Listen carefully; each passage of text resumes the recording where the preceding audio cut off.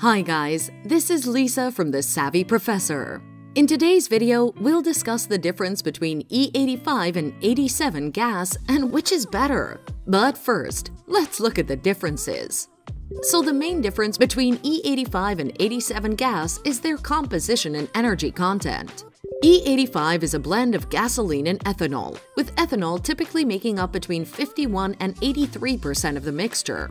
On the other hand, 87 gas contains up to 10% ethanol, with the remainder being petroleum-based gasoline. The composition of the two fuels affects their energy content and efficiency, which in turn affects how far you can travel on a tank of gas. In simple terms, if you drive a car that runs on E85, you may need to fill up more frequently than if you use 87 gas, as E85 has a lower energy density and therefore provides fewer miles per gallon. The fuel efficiency of E85 and E87 is also different. E85 has a lower fuel efficiency than E87, since E85 contains more ethanol. It has less energy per gallon than E87, this means you'll need to fill up more often with E85 than you would with E87. This is like the difference between driving a fuel-efficient hybrid car and driving a gas-guzzling SUV. Just like how the SUV will require more frequent trips to the gas station, using E85 will require more frequent fill-ups. The two also differ in their performance. E85 has a higher octane rating than 87 gas, which means it can provide more power and acceleration when used in vehicles designed to run on it. However, because E85 has a lower energy density than 87 gas, it may not provide as much power per gallon. If you drive a car that's designed to run on E85, you may notice that it has more power and acceleration than when using 87 gas.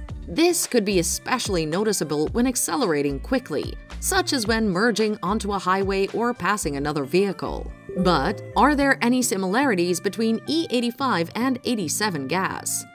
Both E85 and regular gasoline with an octane rating of 87 are used as fuels for vehicles with internal combustion engines. They both also require a fuel system that's compatible with their respective compositions. To sum up, which is better, E85 or 87 gas? The two gases are equally good, depending on what you need. E85 can be a better option for vehicles designed to run on ethanol blends. It has a higher octane rating than regular gasoline, with an octane rating of 87, which can provide more power and acceleration in vehicles designed to run on it. On the other hand, regular gasoline with an octane rating of 87 may be a better option for drivers who don't have access to E85 or whose vehicles aren't designed to run on ethanol blends. Regular gasoline with an octane rating of 87 is widely available and compatible with most fuel systems, making it a convenient option for many drivers. Thanks for watching.